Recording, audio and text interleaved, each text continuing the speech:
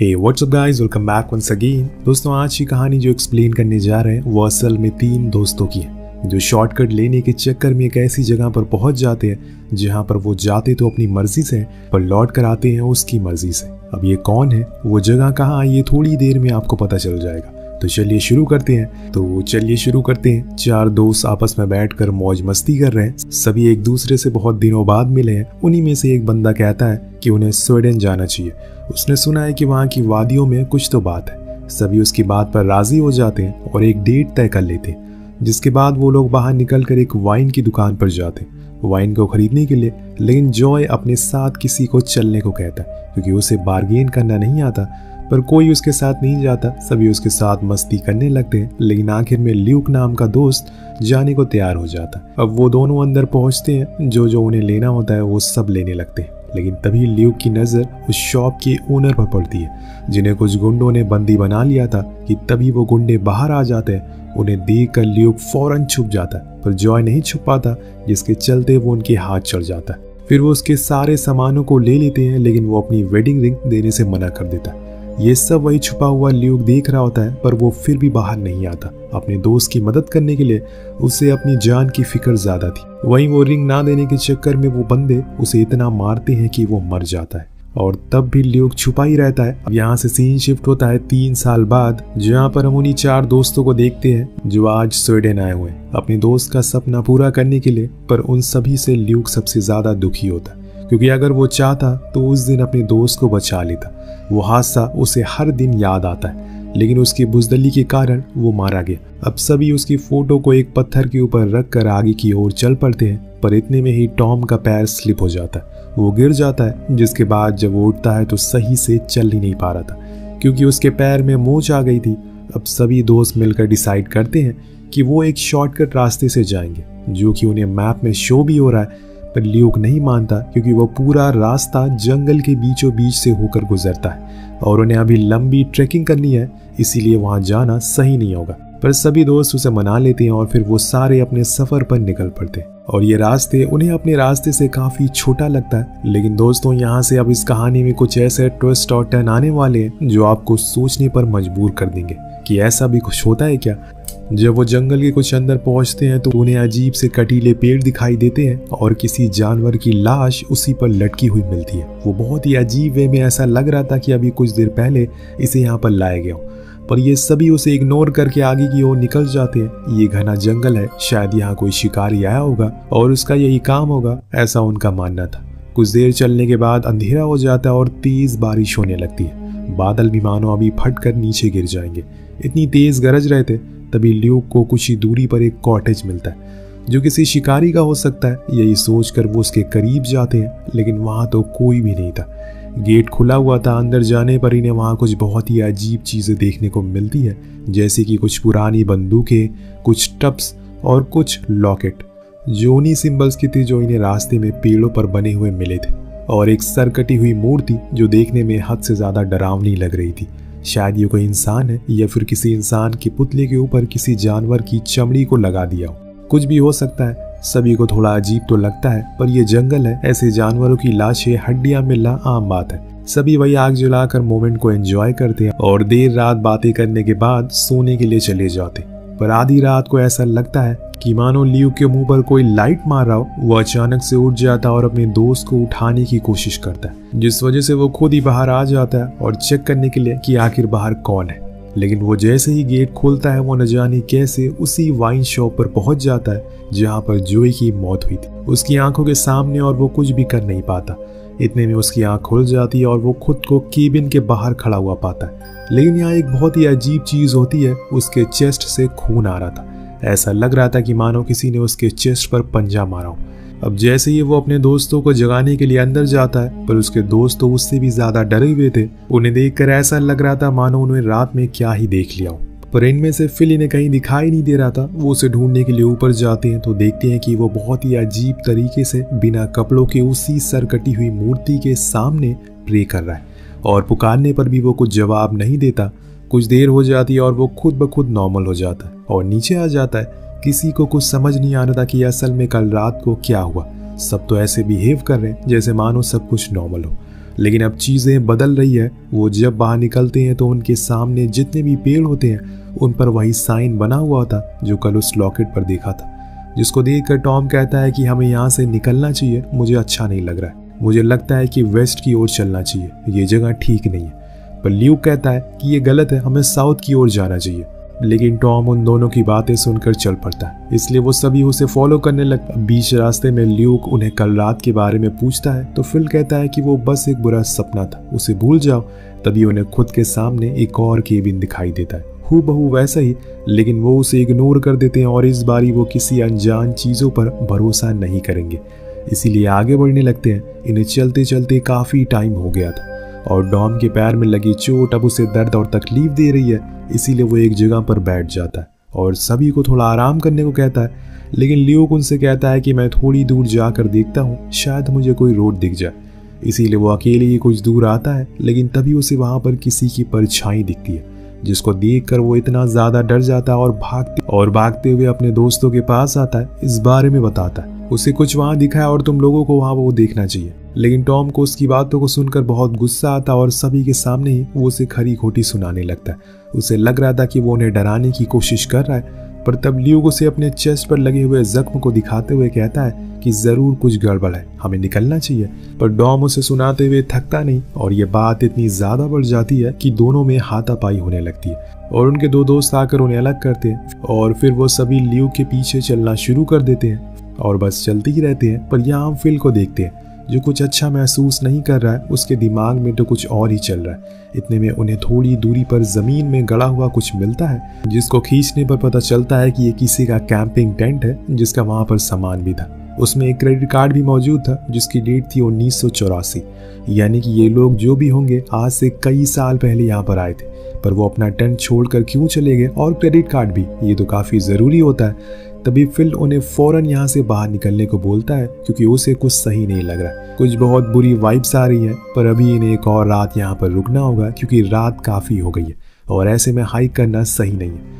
इसीलिए सभी अपना टेंट वहीं लगा लेते हैं और यहाँ लियो को हम स्मोक करते हुए देखते हैं, जिसके पास फिल आता और उसे बातें करना शुरू कर देता है। वो उसे बहुत ही अजीब वे में कहता है कि देखना, कल मैं तुम्हें और तुम्हारे दोस्तों को ले जाऊँगा। उसकी बातों को सुनकर ल्यूक वहाँ से अपने टेंट में सोने के लिए चला जाता। उसे लग रहा था कि वो पागल हो चुका। लेकिन कुछ ही देर बाद वो फिर से जॉय के मौत वाले दिन का एक सपने के ज़रिए देखने लगा। इस बारी तो वो खुद ही अपने दोस्त को मार रहा था और इसी बीच उसे किसी के चिल्लाने की आवाज़ आती है। वो तुरंत ही बाहर आता है और देखता है कि उसका दोस्त जॉन तेज तेज ज़मीन को खोद रहा है और रो भी रहा है। इसी बीच उसकी नज़र फिल के टेंट पर पड़ती है, जो कि टूटा हुआ था। वो फ़ौरन टॉम को उठाता और उसे बाहर आने को कहता है, लेकिन इतने में हम फिल की आवाज़ को जंगल में सुनते हैं। जो कि बहुत ही ज़्यादा बदल चुकी थी। वो किसी जानवर की तरह चिल्ला रहा था, जिसको वो सुनकर वो सभी अपने दोस्त को बचाने के लिए उसकी तरफ़ भागते। लेकिन वो कहीं भी नहीं मिलता। आखिर वो इस टाइम कहाँ चला गया? और ये सब अपने टेंट से भी बहुत दूर आ चुके हैं, इसीलिए उन्हें वहीं खुले में अपनी रात को गुजारना पड़ता है। सुबह एक नया खौफनाक मंजर लेकर आती है। तीनों फिर से चलना शुरू करते हैं, लेकिन तभी ल्यू को कुछ ऐसा दिखता है, जिससे सभी की आँखें फटी की फटी रह जाती है। किसी ने फिल की चमड़ी को उधेड़ कर ऐसे ही उसके नुकीले पेड़ों पर लटका दिया था। उसकी जितनी चमड़ी थी, उसे नीचे फेंक दिया था। अपने दोस्त की ऐसी हालत देखकर किसी के आँसू नहीं रुक रहे थे। ऐसा कुछ हो जाएगा, उन्होंने कभी सपने में भी नहीं सोचा था। फिल के तो बच्चे भी हैं, वो लोग उन्हें क्या जवाब देंगे? इतनी बेरहमी से कौन इनके दोस्त को मार सकता है? लेकिन अब इन्हें सबसे पहले तो मैप को ढूंढना होगा। टॉम कहता है कि वो मैप तो फिल के पास ही है, हमें उसकी लाश को नीचे उतारना होगा, वरना वो मैप हमें नहीं मिलेगा। अब वो बड़ी हिम्मत करके उसकी लाश को नीचे उतारते हैं और फिर ल्यूक उस मैप को ढूंढता है।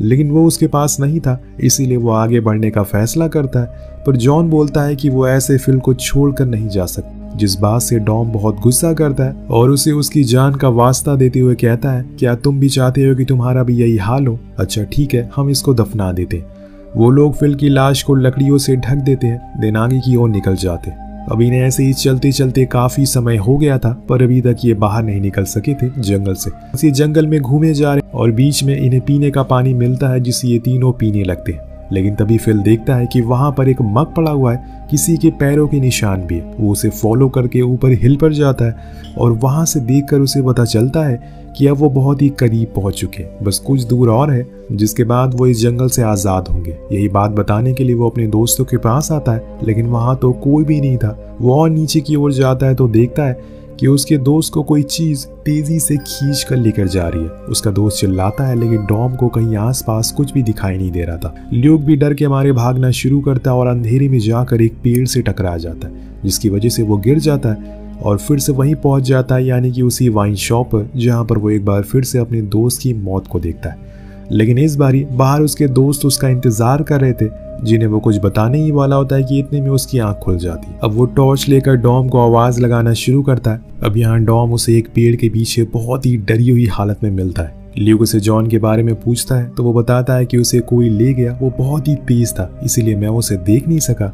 तब ल्यूक उसे एक चट्टान के बारे में बताता है, जो यहाँ से थोड़ी ही दूरी पर है। उन्हें कुछ ही दूर चलना होगा और बस फिर वो यहाँ से निकल जाएँगे। उसके बाद डॉम मान लेता और फिर दोनों ही तेज़ी से अपने कदम बढ़ाने लगते पर इतनी जल्दी कहा? मैंने आपसे शुरुआत में ही कहा था कि ये एक ऐसी जगह है जहाँ पर जाते तो वो अपनी मर्ज़ी से है, लेकिन वहाँ से लौट कर वो उसकी मर्ज़ी से आते हैं। दोनों बस चलते रहते हैं, बिना रुके, बिना किसी मैप को देखे। और ऐसे ही चलते चलते पहुँच जाते हैं एक ऐसे रास्ते पर जहाँ पर शायद किसी की पूजा की जा रही थी, क्योंकि वहाँ बहुत सारी मशाले थी। ये सब क्या है? वो यही सोच रहे थे कि तभी डॉम की नज़र पड़ती है। सेम वही हाल अब जॉन का भी किया जा रहा था, जो हाल कुछ दिन पहले फिल का हुआ था। वही पेड़, वही दर्दनाक मौत पर कौन है ये लोग, इन सब के पीछे और क्यों मार रहे हैं इन लोगों को? या फिर सालों से ऐसे ही चलते हुए आ रहा है? क्या यही वजह है कि इस कहानी का नाम है रिचुअल यानी कि एक रिवाज? कुछ भी हो सकता है। आइए पता लगाते हैं। आँखें खुली रखिए और लाइट को ऑन कर दीजिए, क्योंकि शायद डर का माहौल बनने वाला है। ये लोग उसी रास्ते पर आगे बढ़ते हैं। शायद वहाँ कोई रहता है जो इनकी मदद कर दे, लेकिन इतने में कोई पीछे से आकर इन दोनों पर वार कर देता है और इन्हें मार कर बेहोश करता है। जब इनकी आँख खुलती है तो ये खुद को फिर से एक केबिन के अंदर पाते हैं। दोनों को रस्सी से बांधा हुआ था। यहाँ ल्यूक एक छेद से बाहर देखता है तो उसे पता चलता है कि ये शायद कोई कबीला है, जहाँ पर कुछ लोग रहते हैं। और हो सकता है कि यही कबीले वाले सारे लोगों को मार रहे हो। इसी बीच डॉम देखता है कि ल्यूक के पास एक ग्लास रखा है। वो उसे कहता है कि इसे तोड़कर तुम अपने और फिर मेरी रस्सी को काट दो, जिसके बाद हम बाहर निकल जाएँगे।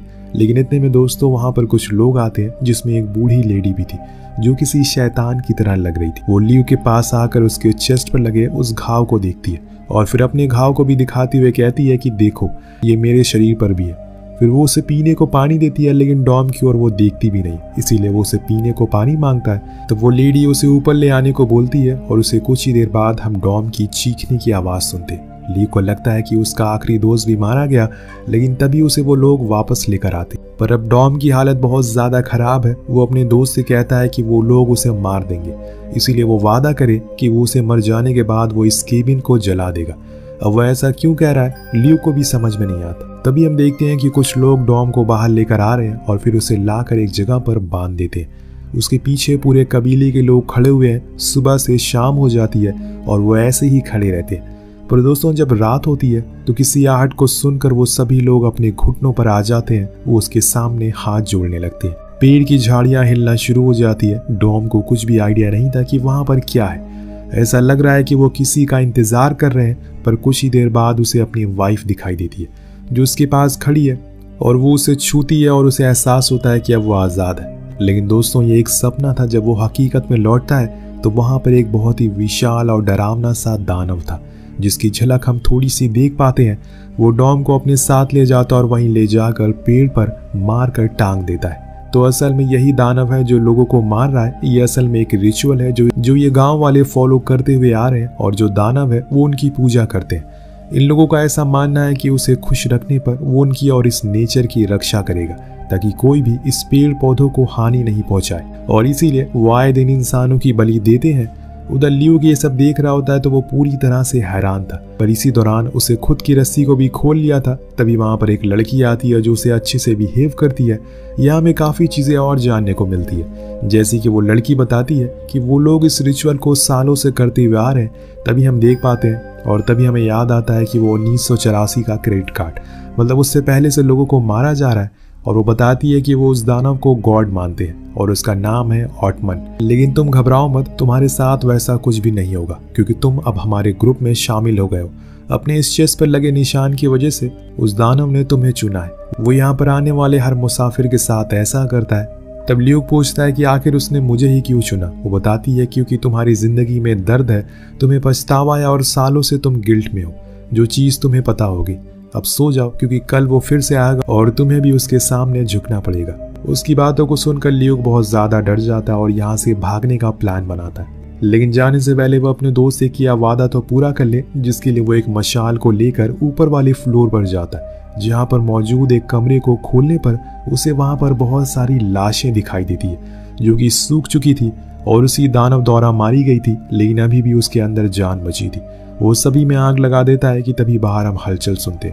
वो दानव फिर से आ गया, क्योंकि अभी अभी उस लड़की ने एक रूल को तोड़ दिया है, किसी भी बाहर वाले को अंदर का पूरा राज बताकर। जी हाँ उस लड़की ने जो किया वो गलत था, पर वो भी ल्यू की तरह एक ट्रैवलर है तो यहाँ पर आकर, जो यहाँ पर आकर फंस गई।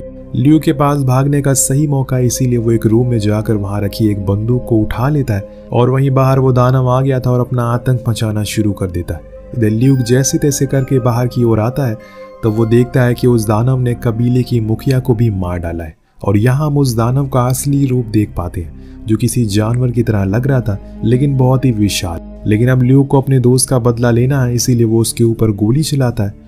पर एक भी गोली उस पर क्या ही असर करेगी? इसीलिए वो भागना शुरू कर देता है, पर वो दानव अब उसके पीछे पड़ चुका है। अब इसी बीच ल्यू को फिर से वही वाइन शॉप वाला सीन दिखने लगता है, जिस चक्कर में वो गिर जाता है और वो उसे पकड़ लेता है। फिर उसके मुँह पर अपना पैर रखकर किसी रिवाज को पूरा करने लगता है। इतने में ल्यू की नज़र एक कुल्हारी पर पड़ती है, जिसे वो उठाकर उसे ज़ोर से वार करता है और फिर वहाँ से भागते हुए जंगल के कोने पर आ जाता है। यहाँ में एक और रास पता चलता है। चाहे कुछ भी हो जाए, वो दानव इस जंगल के बाहर नहीं आ सकता। उसकी शक्तियाँ वहीं तक सीमित है। और जब ये बात लियो को समझ आती है तो वो उसे वहीं खड़े होकर बहुत ही गंदी गंदी गालियाँ देता है। हमें उसके चेहरे पर वो गुस्सा, वो नफरत दिखाई देती है। उसने अपने सारों दोस्तों को खो दिया। अब वो दाना भी उसे देखकर चिल्लाता है, लेकिन कुछ कर नहीं पाता। इसके बाद ल्यूक वहाँ से रोड की ओर आ जाता है। तो दोस्तों, आपको क्या लगता है, क्या नेचर को, हमारे पहाड़ों को हमें बचाने का ये सही तरीका है? ऐसा कुछ सभी को अपनाना चाहिए, या फिर ये गलत है? आपको क्या लगता है कि क्या आप किसी ऐसी ट्रिप पर गए हैं जहाँ आपको ऐसा कुछ महसूस हुआ? अगर आपके साथ ऐसी कोई घटना हुई है तो नीचे कमेंट करके ज़रूर बताएगा। मिलते हैं अगली वीडियो में। Peace out